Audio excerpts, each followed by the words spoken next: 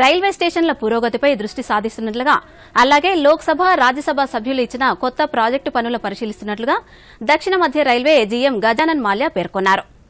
శుక్రవారం ఆయన రైల్వే సిబ్బందితో కలిసి కర్ణాటక రాష్ట్రంలోని మాల్కెండ రైల్వే స్టేషన్ నుంచి తాండూరు రైల్వే స్టేషన్కు వచ్చి తాండూరు పరిసరాల్లో గల సిమెంటు కర్మాగారాల యొక్క రైల్వే ట్రాక్ భద్రతా నియమాలను ఆయన పరిశీలించారు.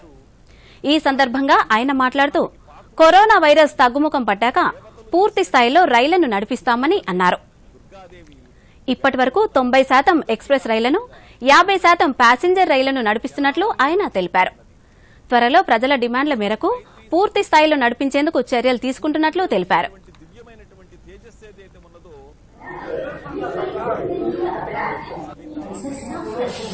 पाँच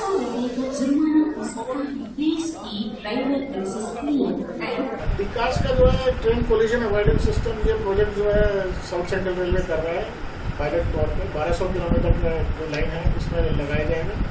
इसका मेन पर्पस जो है कि दो गाड़ियाँ अगर एक लाइन पे आ जाएँ तो उनमें टकराव नहीं होगा, उसको रोकने के लिए। क्योंकि वो सबसे खराब एक्सीडेंट होगा। अगर दो गाड़ी एकदम आके एक दूसरे से टकरा जाए उसको रोकने के लिए इसको ये सिस्टम है, ये अभी करीब 540 किलोमीटर हम लोगों ने कर लिया है और मार्च तक हम 1200 किलोमीटर पूरा कर रहे हैं। ये सिकंदराबाद से लेके विकाराबाद विकाराबाद से परली परली से परवनी और परवनी से लेके सिकंदराबाद तक इसका किया जाएगा और सिकंदराबाद में जो सबर्बन सिस्टम है, उसका भी लगाने की बात है। ताकि इस तरह के एक्सीडेंट्स एलिमिनेट करें।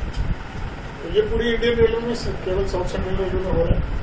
यहाँ के, यहाँ पे जब सक्सेस हो जाएगा, इसको बाकी जगह भी किया जाएगा।